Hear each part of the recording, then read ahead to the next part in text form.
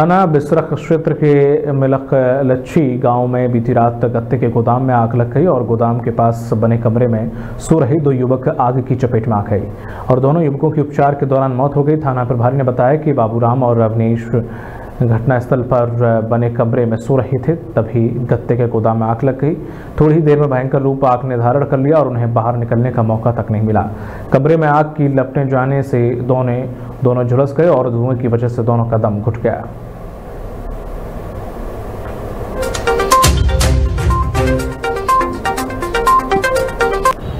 रात्रि के दो बजे फायर सर्विस यूनिट को सूचना मिली कि मिलक लच्छी थाना बिसरक में एक कबाड़ की दुकान, जो कि गत्ते की दुकान थी, एक कमरे की दुकान थी, उसमें आग लगी है। प्रथम दृष्टि से वहाँ पहुँच के देखा गया कि दो लोग पहुँचे हुए हैं, दो लोग फंसे हुए हैं। उनको बीएसएफ पहन के फायर सर्विस के कर्मचारियों द्वारा निकाला गया। उसमें जलने के लक्षण नहीं थे।